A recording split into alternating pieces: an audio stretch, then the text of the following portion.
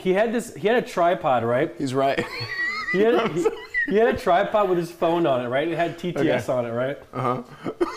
And the TTS starts going off. He's holding his baby, Uh-huh. and the, it's right there. And the TTS starts going off, and it's it's playing like a racist donation. Oh God.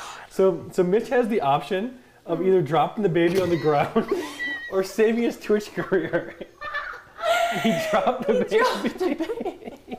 It was like just born. It was The infant. baby just he just goes like maybe just. And while you're here, just like the N word, And the- N word, N N-word. N word, while he dropped it.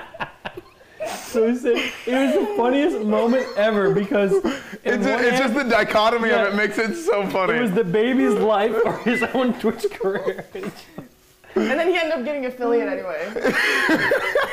yeah, it ends up getting beat a different way. It was so funny, dude. oh, jeez.